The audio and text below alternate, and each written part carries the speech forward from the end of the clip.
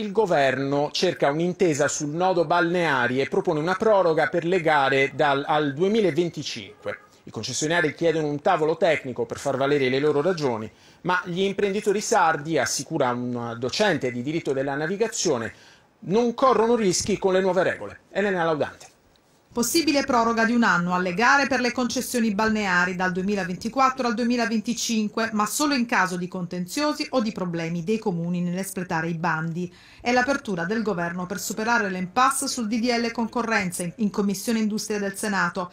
Gare da rinviare il più possibile per le associazioni di categoria che puntano a un tavolo tecnico che recepisca le loro richieste nei decreti attuativi.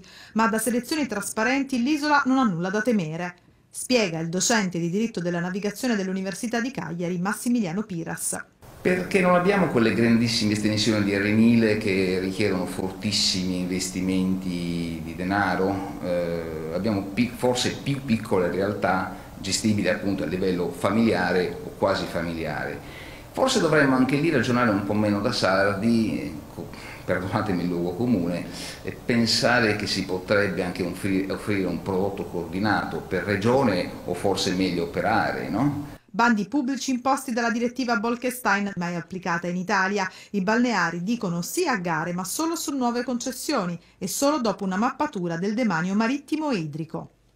Si dovrebbe evitare che la mappatura venga utilizzata come come scusa, come, come, pretesto per evitare poi di, di, per superare ancora una volta il regime di proroga e, e nel contempo però avviare un, un sistema ben fatto di selezione.